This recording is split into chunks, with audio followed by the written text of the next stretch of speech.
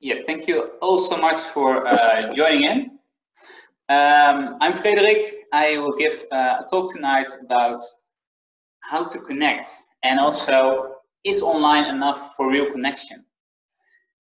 A few months ago, I moved to Maastricht. Uh, I was doing a job where I was yeah, sitting a lot on the desk and um, was just sitting behind my computer and uh, doing a lot of stuff over there. And um, I was longing for yeah, just meeting up with people. And um, I was looking forward to do some new stuff. So I applied for a function as a student worker for international students in Maastricht. And I was really looking forward to finally meet uh, people here. But just one week after we moved here, um, the intelligent lockdown started to happen. So all the plans I had, I couldn't do. Um, and before the time, I never heard about Zoom, uh, Discord, I never used Teams. They were all new stuff new things for me.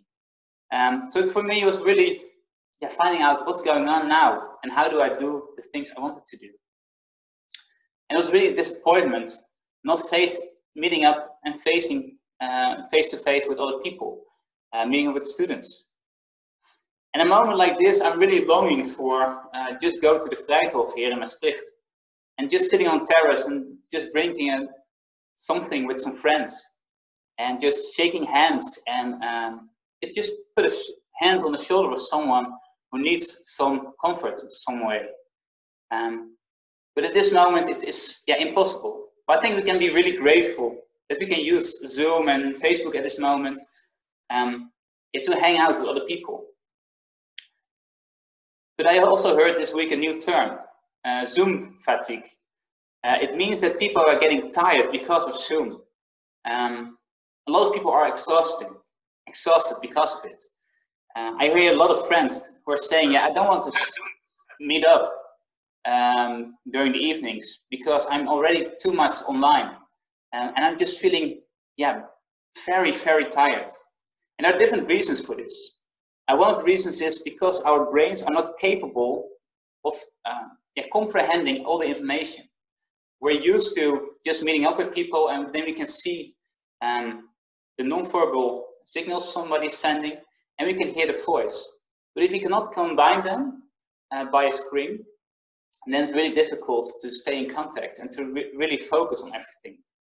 And also on the same moment, a lot of people are uh, on your screen. So it's really difficult for our brains to focus. I also read that um, a lot of people just want to show good on a camera. Um, so it, we always have the idea that we have to show good image of ourselves. And all those things are exhausting. Um, so this can be a reason why we are yeah, exhausted because of it. But I'm really grateful that you're here, that you're joining this event. And um, yeah, I want to take a closer look on what do we really need because I think we're all longing for a moment that we can just get touch each other again, meet up with each other again.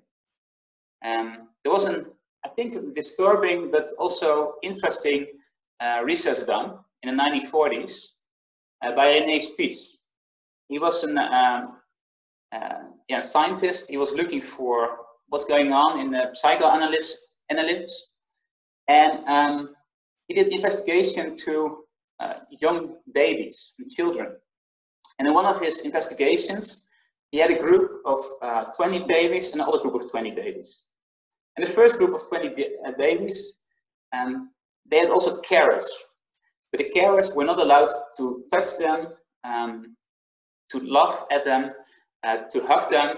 They were, not, they were only allowed to feed them, um, also some washing, not more than, than needed.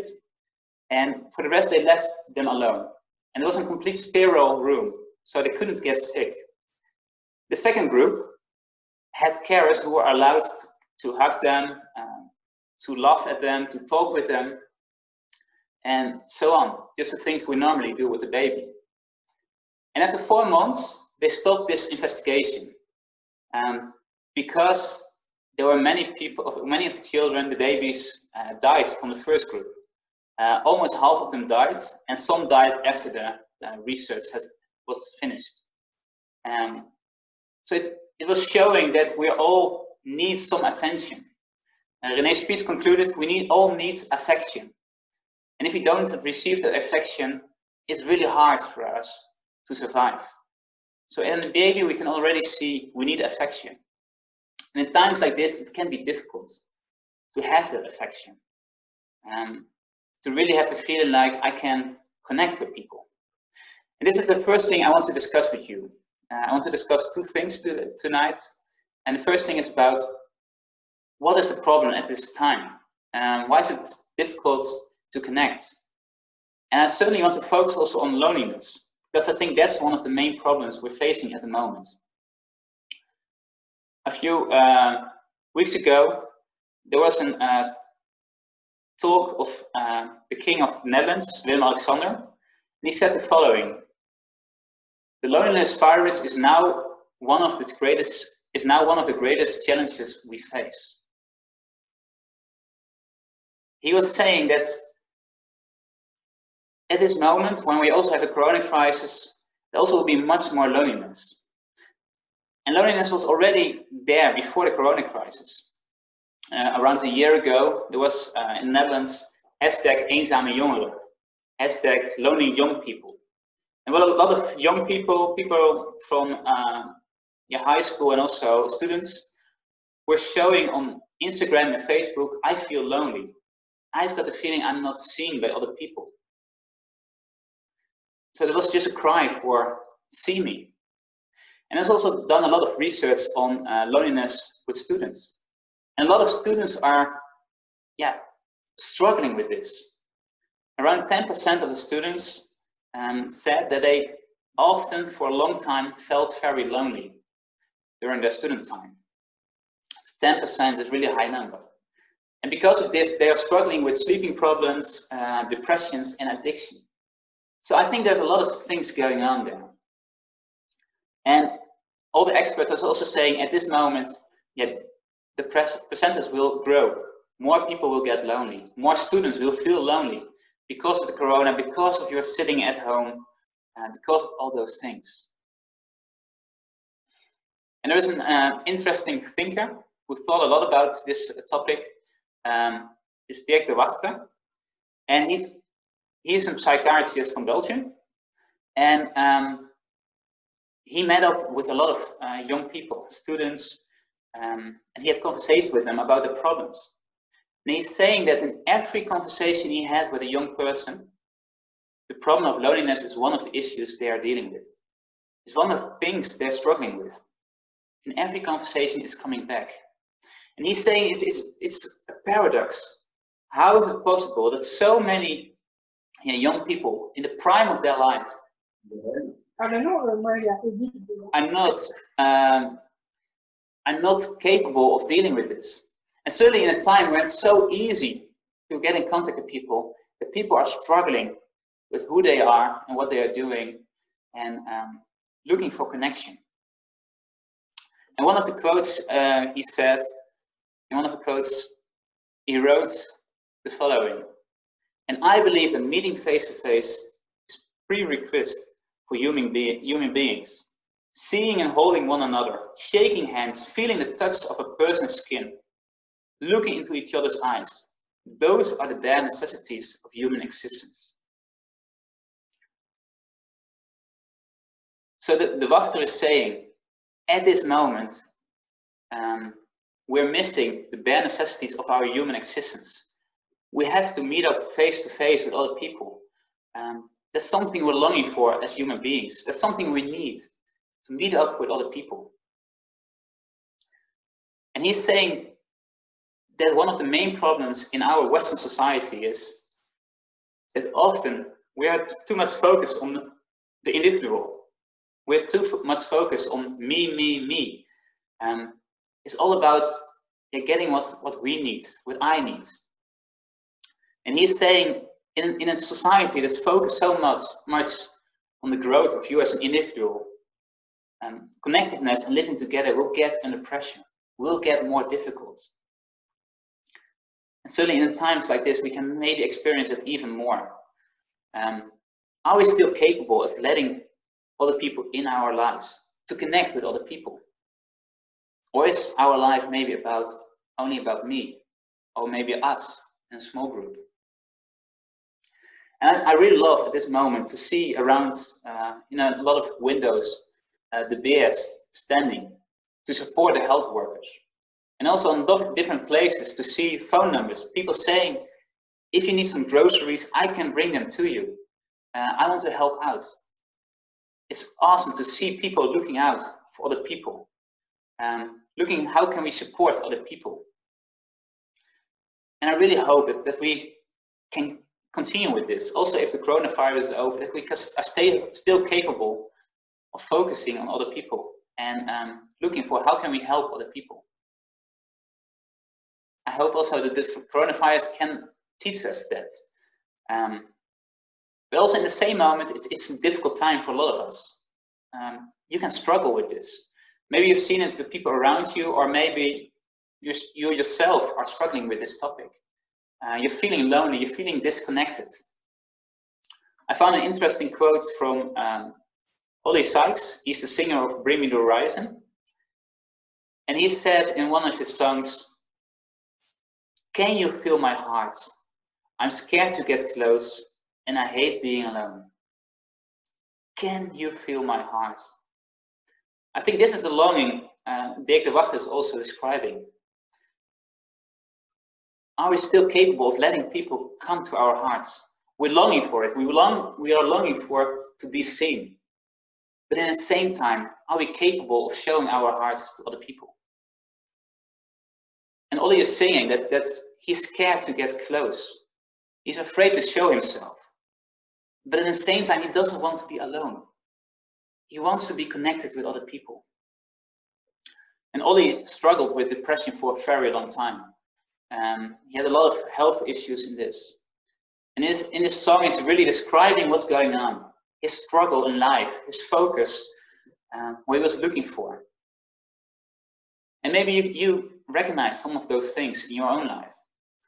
Um, but I think for a lot of us, it's really difficult to show this kind of things because it's vulnerable. It can be difficult to show all those feelings, to be open about how we're feeling. But I think it's something we need to get closer. And for my second point, I want to uh, take a closer look on how does it feel to be disconnected? How does it feel to be uh, an outsider? And for this, I want to uh, read with you a story. It's an ancient story. Um, you can find it in an ancient biography of Jesus.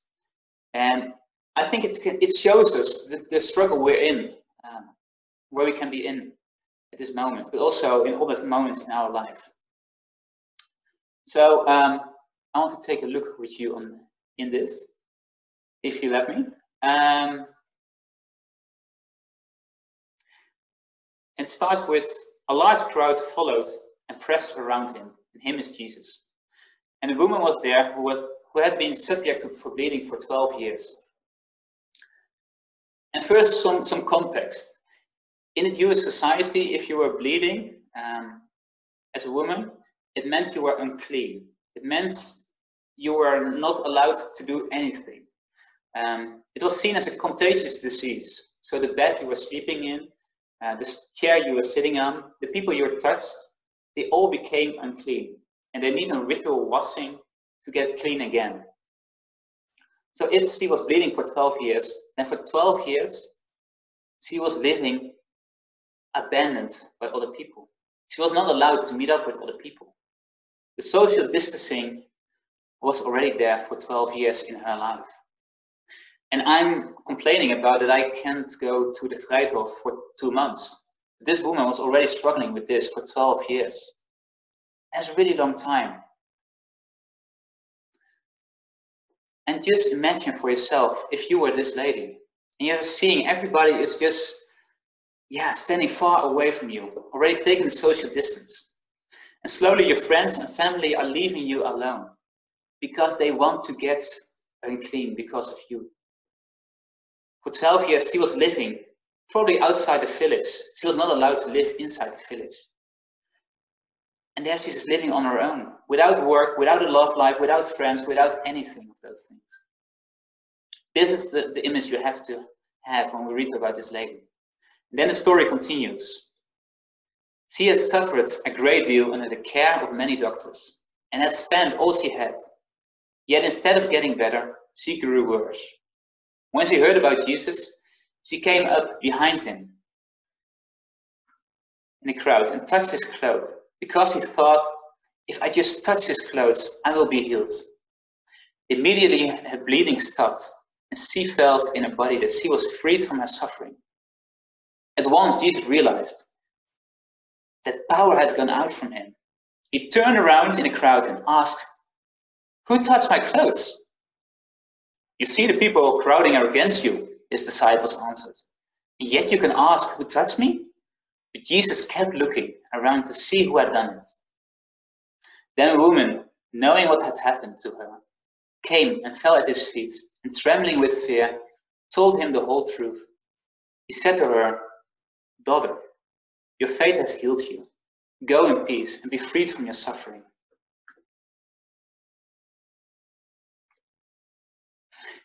In his story, read about this lady who was longing for 12 years to be connected again. She was lonely for 12 years. Um, you can even speak of derealization. She was put outside reality. People around her didn't like her anymore, didn't want to uh, continue living with her anymore.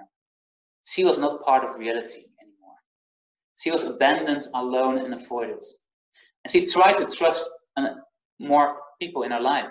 She trusted the doctors, but the doctors even made it worse. Um, so it was a really difficult situation she was living in.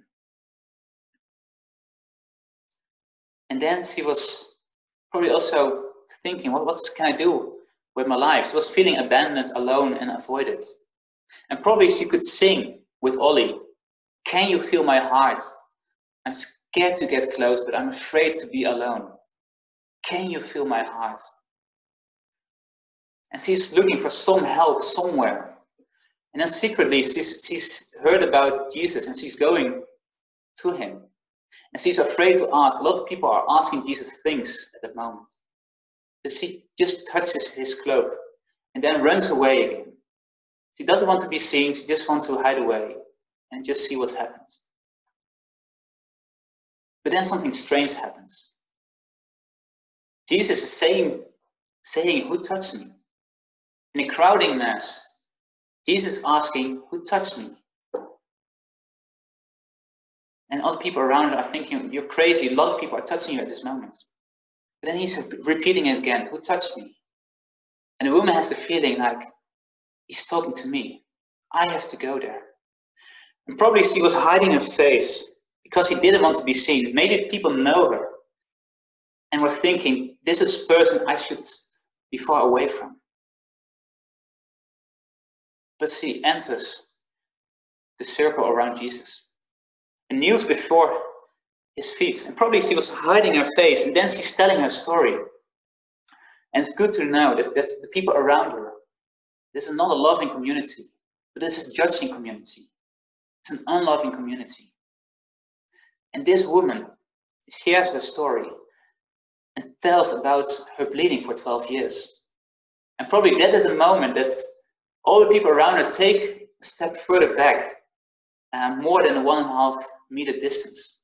They are afraid for this woman. They want to, don't want to get unclean. They want to have, don't want to have the contagious disease. But why?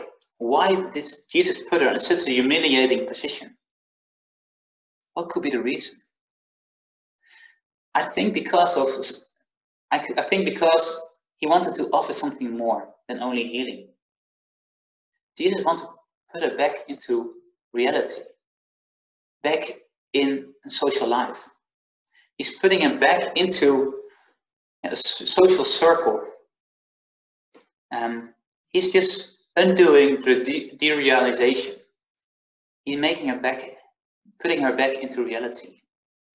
She's seen again. People can again touch her. And I think that's something he offers. He wants to connect her again with people around her, but also with God himself. Jesus claimed to be God. And with this, a relationship started. But what has this story to say to us in this time? Um, will maybe all this loneliness will end after Corona? Will we all be connected again?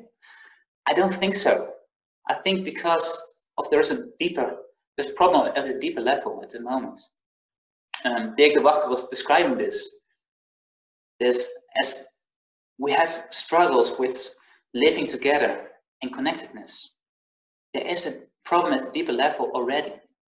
10% of students were already lonely before this event and found it difficult to connect.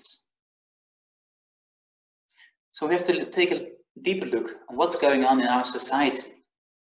And maybe if we compare it a little bit to uh, the society around a woman, you think about the circle standing around her. A lot of them were probably judging her, were angry probably because she was in the middle of the crowd. And maybe she spread her uncleanness to other people. This was an unloving group. And she was abandoned by those people. She was not allowed to be part of that group anymore. And maybe you've also experienced something like that in your life. Got the feeling like, I want to be part of groups, I want to meet up with people. Um, but I find it hard, or it, I felt disappointment in those kind of situations because I didn't find the love I was looking for. I didn't find the connection I was looking for. But maybe also if you think about the story, um, you can think about situations in your own life that you maybe put people aside, that you maybe were part of an unloving group, was not open for other people. And I think these are things that is not the way it should be. And in the Bible, those things are described as, uh, as sin, things that are not right, things are not the way it should be, things that are not out of love. And I think that happens when we have a lot of focus on me, me, me, like Dirk de Wachter is describing.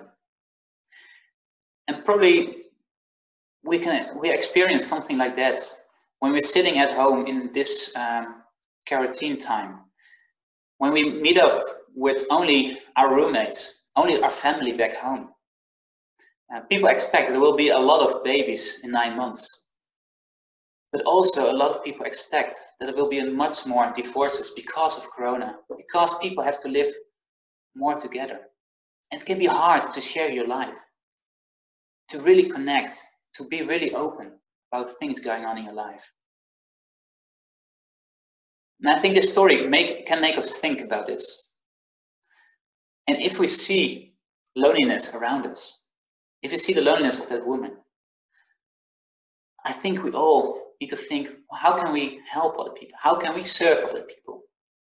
How can we put people back into community? And with this, it's not only, uh, I think, a personal problem, but I think it's a problem for us as a society. I think it's something as a society we need to think about. How can we look out for those people who are not connected? How can we connect with other people?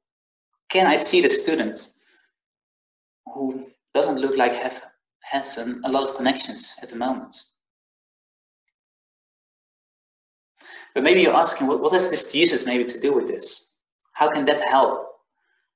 I think what's interesting is in Jesus is when you read those, his stories, you will see that he is breaking down the social distance. He's letting people coming nearby, like this woman. This woman was allowed to touch him. And also, you, you can see all the stories in the ancient biographies of Jesus that he is yeah, just letting people who have the contagious disease touch him. And that's what Jesus is doing. Jesus came to this earth to take up him, upon him uh, all the things that are wrong in our life, all our brokenness, all our struggles, and all our sins, all the moments we disappoint other people. Maybe when, we have, have abandoned other people. Jesus came to this world to put it on him. And he took this with him through the cross. And on the cross, where he was crucified, he suffered the ultimate isolation the ultimate loneliness. He was abandoned by friends and family and his followers. He was just hanging there alone. He even felt abandoned by God. But he did this because of you, because of me. Because he came to this earth to restore the connection between God and us again, and also between us as people. And after a few days, when he died on the cross, people said that they have seen him again. And people have written down eyewitness accounts of this, that he was really alive again. And if you, you can check that out, you can investigate. But maybe the most surprising thing is that many people in this world, uh, like me, like other people, have experience with, with seeing um, and feeling and knowing that there is a God who is connected with us, who has a real connection with us. This Jesus came to this world to reconnect us with each other, but also with God. This God came to this world to die for everything that's wrong in our lives, for every wrong thing we're doing, um, all the sins we are doing. And he's just taken that away, and he died for that. And now he's offering something better. He's offering a relationship with himself. And the question is, how do you respond? And for this, I want to take you back again to the circle around Jesus. Because I think that there can be three ways to uh, deal with this. Maybe you're just sitting there, standing there and thinking, I'm skeptical. I don't believe this is not for me. Um, thank you very much. I really want to thank you for joining this event. And I also want to um, challenge you. Um, we have Uncovers, there's an ancient biography of Jesus. If you want one, you can have it for free. You just can leave your um, address in uh, the feedback form. Uh, so please fill it in if you'd like to check it out for yourself. If you want to investigate, um, you can have it for free, no strings attached. Um, it's also possible he's standing there and thinking, I like to yeah, investigate. I like to try out that cloak. Maybe this Jesus has some power. Um, I want to take a close look on it. If that's you, and you're thinking, okay, I, tell me more about this, um, that's also possible. You can leave your phone number in the feedback form, and uh, somebody will contact you of the organization team. And um, yeah, we'll share more about what's going on and how you can investigate, maybe together, uh, or talk further about other questions. So you're very welcome also to do that. But it's also possible um, that you're thinking, like that woman, I want a new for this person. I want a new for this God. I want to be in that relationship with this God at this moment. I'm longing for that. If you like to be in that relationship, it's also possible to start with that tonight. And um, I also want to uh, encourage you, please leave your details also in feedback form so we can get in contact with you and explain uh, what you can do more. Um, but for now, I really want to thank you for listening. Uh, we will go to uh, Q&A in a minute. Uh, so please also send all your questions to Sly and Do uh, hashtag question. Um, so I can try to answer them as good as possible. And uh, please also fill in the feedback form. It's really helpful for us to have some feedback on the events, how we can improve, how we can make it better. Um, so thank you so much.